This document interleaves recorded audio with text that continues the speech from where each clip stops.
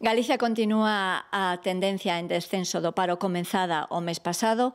En Galicia temos eh, máis de 6.400 persoas menos eh, no paro e, por tanto, un descenso de máis dun 3,3%. Somos a primeira comunidade autónoma que onde, onde máis baixa o paro.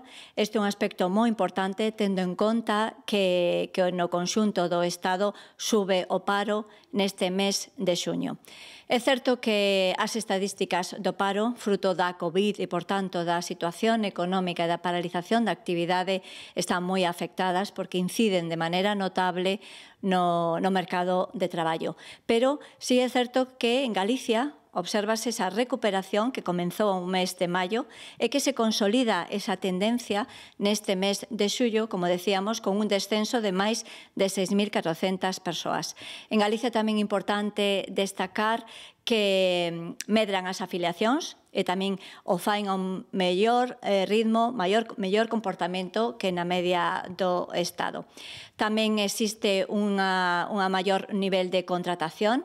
As contratacións suben no mes de xuño e suben as contratación en dous aspectos importantes en materia de calidade, contratación indefinida e xornada completa. Por tanto, son dos aspectos que son, que son importantes. Eh, o mellor comportamento se observa nas catro provincias, neste mes de xuño nos diferentes sectores económicos e é importante en dous eh, en colectivos, mulleres e menores de 30 anos tamén ten un bo comportamento neste mes de xuño. En relación co ano pasado, o, o paro en Galicia sube, sube preto dun 19%. Isto supón que eh, máis de 29.400 persoas están nas listas do paro. Pero é moi importante destacar que esa subida no paro en Galicia é moi inferior, 10 puntos menos que na media do conxunto do Estado. Somos a terceira comunidade autónoma onde menos sube o paro de todo o Estado.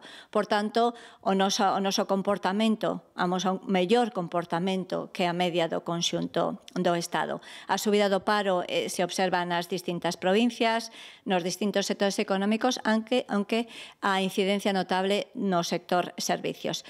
Con toda esta situación, o que está a facer Galicia é, é poñer en marcha como aprobou un plan de reactivación económica e, por tanto, tamén eh, adecuarse ao novo contexto laboral e, por eso, o Consello, o Consello da Xunta aprobou unha nova xenda de emprego para que? Para incidir e para acompañar nesta nova transición, neste novo contexto laboral, para acompañar, por suposto, as empresas pero moi importante as persoas e a todas as eh, persoas desempregadas e as persoas eh, ocupadas. Por tanto, pensando moito nas persoas traballadoras, pensando moito na seguridade e saúde laboral e pensando moito na formación como elemento imprescindible nesa transformación. Decíamos que é moi importante ese plan de reactivación que puso en marcha a Xunta de Galicia, destacar dos medidas, dos medidas que además son fruto do acordo de diálogo social firmado polo presidente da Xunta, firmado cos interlocutores sociales, coa Confederación de Empresarios de Galicia, coa Comisión Sobreiras e con UGT, Galicia para, para pensar nas persoas, como decíamos. 8 millóns de euros para acompañar as persoas traballadoras que per perden poder adquisitivo nos ERTES de causa SETOP e tamén para acompañar as persoas que maiores de 55 anos que motivados pola crisis perderon perderon o emprego. Todas estas medidas, como decíamos, son un conxunto de actuacións para motivar a mellora das empresas, a mellora das persoas, que o noso objetivo neste novo contexto. Moitas gracias.